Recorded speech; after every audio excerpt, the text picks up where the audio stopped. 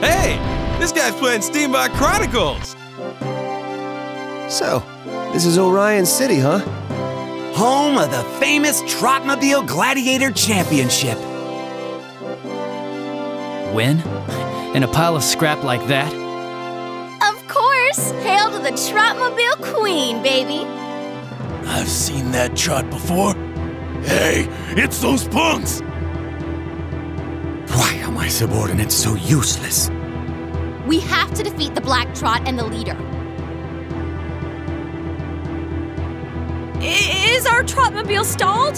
Is this the end?